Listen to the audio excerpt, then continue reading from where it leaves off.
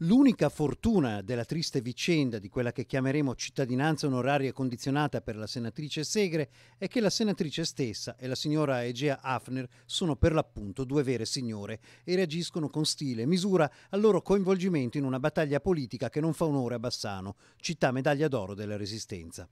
Per la verità la città di Bassano è stata trascinata in una bruttissima figura nei confronti di una grande testimone dell'orrore della Shoah come Liliana Segre e nei confronti di una testimone dell'esodo Giuliano Dalmata come la signora Hafner.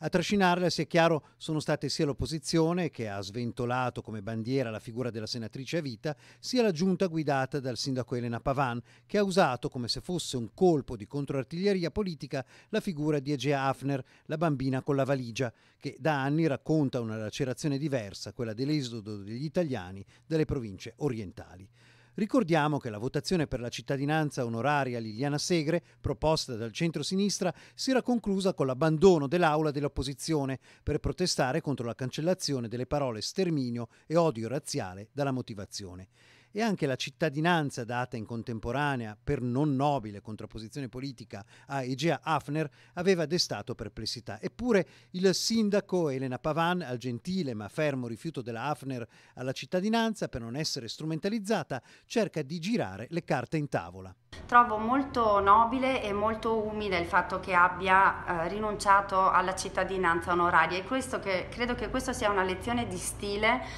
da impartire a chi usa la cittadinanza onoraria come strumento di lotta politica. In realtà, ribatte l'ex sindaco Poletto, la strumentalizzazione c'è stata, ma da parte del sindaco attuale e della maggioranza. La strumentalizzazione non l'abbiamo fatta noi, che abbiamo proposto eh, dieci giorni prima, protocollandola, una mozione che puntava a dare una cittadinanza onoraria agli Segre in questo momento storico specifico, perché in questo momento che purtroppo la senatrice Segre è oggetto di centinaia di attacchi quotidiani. Eppure vorremmo salvare qualcosa di questa triste vicenda che, come dice Elena Pavan, si potrebbe spostare in futuro magari nelle pietre d'inciampo, in una scelta bipartisan più degna della città di Bassano. Bassano. Mi sarebbe piaciuto aver condiviso con l'opposizione eh, azioni così importanti che si fondano su eh, principi così importanti e mi auguro che per il futuro, se hanno intenzione di proporre delle altre iniziative, le condividano con noi. La contrapposizione noi, voi,